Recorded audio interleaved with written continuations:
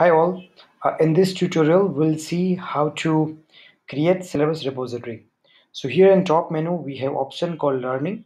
Under learning there is a first option syllabus repository. The moment I select syllabus repository, here I can see all the grades and under each grade I can create subjects to manage syllabus repository. So let's uh, uh, take an example for uh, we want to like to create uh, syllabus repository for grade 2 so I can see the grade 2 if grade is not exist I can use this button add grade plus grade to create grades. Okay. So let's say grade 2 is there. I just need to click on add subject. Let's start with math. So math is a subject. I create a subject math. Similar way I can create subjects English. So I can I should create all the subjects which are there part of grade 2 the most important part here is we are creating syllabus repository for grade 2 it might it might possible that we have let's say class 2a class 2b class 2c for 2 class 2 we could have a three section.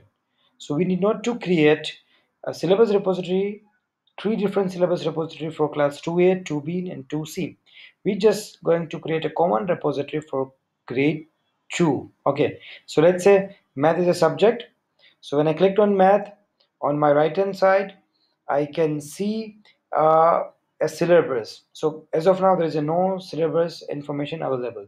So basically syllabus it means the index of the syllabus. It means chapters and topics.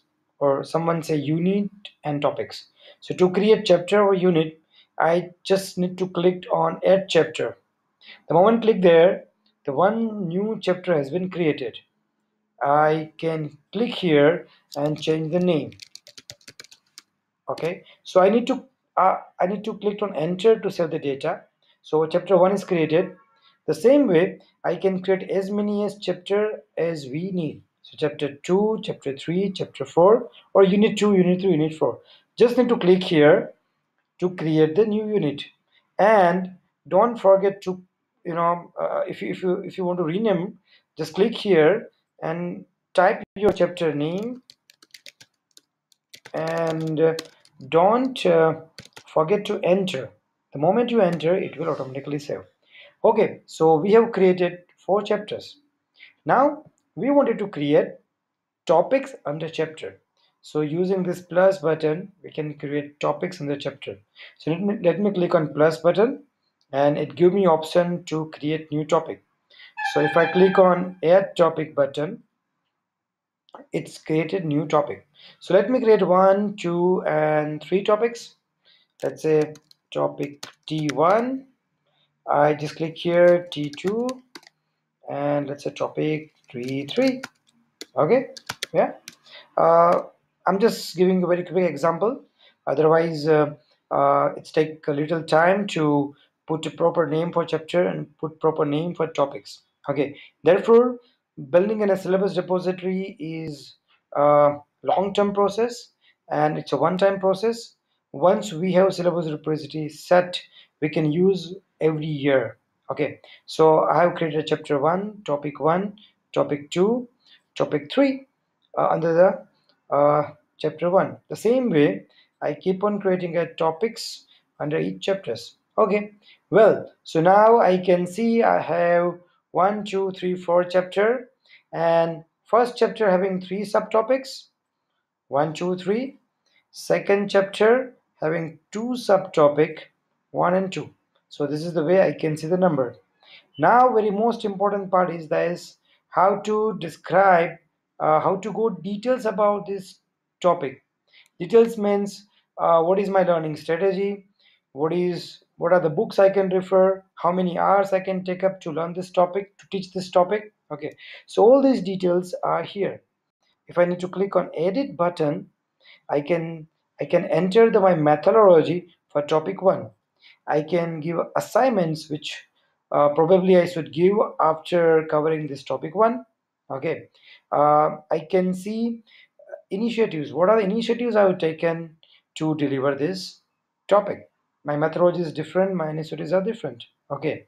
Any any tours or visit associated with these chapters we can put there. Okay. Any workshops. So basically these fields are customized as per school requirement. Someone want to like to put learning outcomes the learners uh, the, the learners activity the resources. So as per our syllabus methodology and school's choice these fields are customizable. You can enter the data and just click on save button to save this uh, information which is related to particular topic. Okay. Moreover there are two other facilities where we can attach the web links. So let's say there are some good videos are there or good uh, web resources are there. So I can attach uh, here with this topic. And the same way I can attach the documents as well I can attach the PPT or worksheet or any other related documents with this topic. I can close here and again click here. I can see the information. Okay.